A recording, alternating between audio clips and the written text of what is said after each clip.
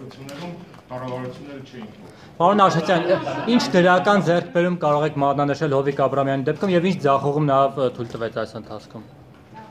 Մենք հնարավորություններ ունեցել ենք կառավարության գործունեությանը անդրադառնալու կուսակցության ձևաչափով, դրա համար բացարձակ պետք չէ, որ Հովիկ Աբրամյանը տարեգրական կամ տար, այդ հնարավորությունը մենք ունեցել ենք կուսակցությունում, որպես կառավարություն ձևավորած հիմնական քաղաքական ուժ։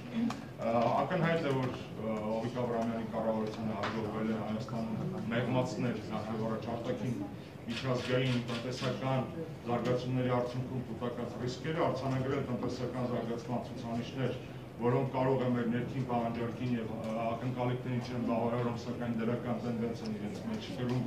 եւ շատ ու շատ երկրների համար նույն գրավիչ ցուցանիշներ կարող են դիտվել ակնհայտ է, որ այս ընթացքում նաև Հովիկ Աբրամյանի կառավարությունը դարձավ կոալիցիոն, որովհետև ձևավորվել էր սկզբից։ Իր տված խոստումներից քանիսը կատարեց Հովիկ Աբրամյանը։ Ես չեմ զբաղվել վիճակագրությամբ, կարծում եմ դուք դա կանեք ինքնուրույն, բայց խնդրում եմ անեք նույն։ Երկու հարց եթե կարելի է